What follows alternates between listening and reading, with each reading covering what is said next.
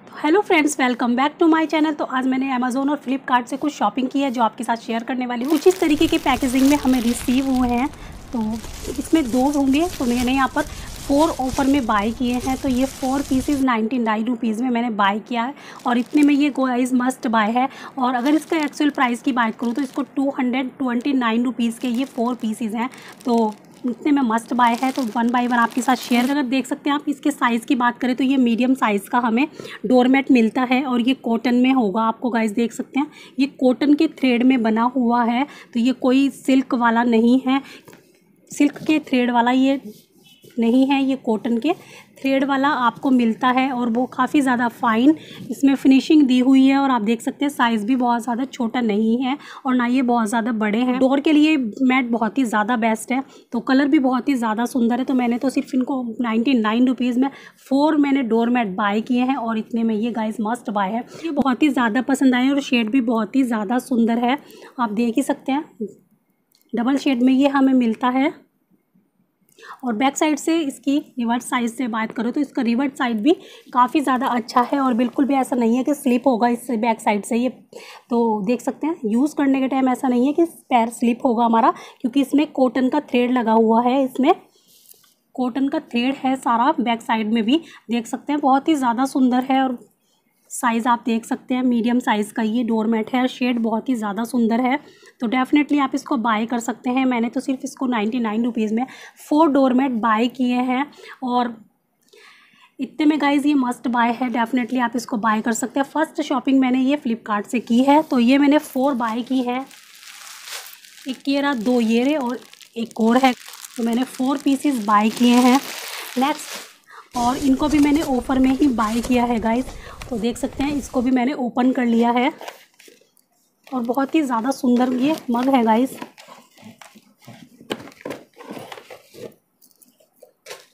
आप देख सकते हैं सिक्स पीस का ये सेट होगा। साइज़ में इमेज लगाऊँगी तो देखकर पता चल जाएगा, क्योंकि लाइटिंग की वजह से इतना शो नहीं हो रहा है।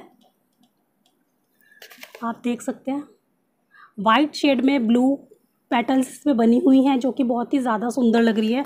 और ये बहुत ही ज़्यादा सुंदर है गाइस बॉन्ड चाइना के ये हमें मिलते हैं और ये काफ़ी ज़्यादा अफोर्डेबल प्राइस में मुझे मिले हैं। तो मैंने इसको सिर्फ़ नाइन्टी नाइन रुपीज़ में सिक्स मग का सेट बाय किया है। इतने में ये मस्त बाय है गाइस और एक्चुअल प्राइस मैं स्क्रीन पे शो कर दूँगी ये इनको कितने का मैंने एक्चुअल प्राइस है। तो मैंने तो सिर्फ़ इनको नाइन्टी नाइन रुपीज़ में ऑफ़र में बाय किया है। बहुत ही ज़्यादा अच्छी क्वालिटी के हैं ये गाइस तो डेफ़िनेटली आप इनको भी बाय कर सकते हैं। प्लांटर बाय किया है और बट मैंने इसको काफ़ी दिन पहले से बाय कर रखा है बट मैं ये आपके साथ शेयर नहीं कर पा रही थी।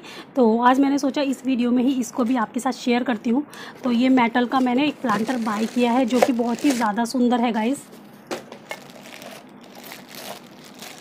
आप देख सकते हैं, ये काफ़ी ज़्यादा सुंदर है और उसका शेड तो गाइस गोल्डन सा शेड है, जो कि बहुत ही ज़्यादा सुंदर है ये। तो आप देख ही सकते हैं। बहुत ही ज़्यादा सुंदर है, ना बहुत ज़्यादा छोटा है ना बहुत ज़्यादा बड़ा है। तो इस तरीके का प्लांटर बहुत ही ज़्यादा सुंदर लगेगा। आप इसमें आर्टिफिशियल आप इसमें आर्टिफिशियल प्लांट भी लगा सकते हैं। आप चाहें तो इसमें ओरिजिनल प्लांट भी लगा सकते हैं, देख सकते हैं इसमें क्योंकि हॉल किया हुआ है तो आप इसमें ओरिजिनल भी लगा सकते हैं। बट मैं इसमें आर्टिफिशियल लगाने वाली हूँ, जो कि आपको कभी ना कभी मेरे बैकग्राउंड में दिखेगा ज़रूर। तो मुझे तो ये बहुत ही ज़्यादा पसंद आया, इसका शेड भी बहुत ही ज़्यादा सुंदर है। और क्वालिटी की अगर इसकी बात की जाए तो काफ़ी ज़्यादा अच्छी क्वालिटी का हमें ये रिसीव हुआ है।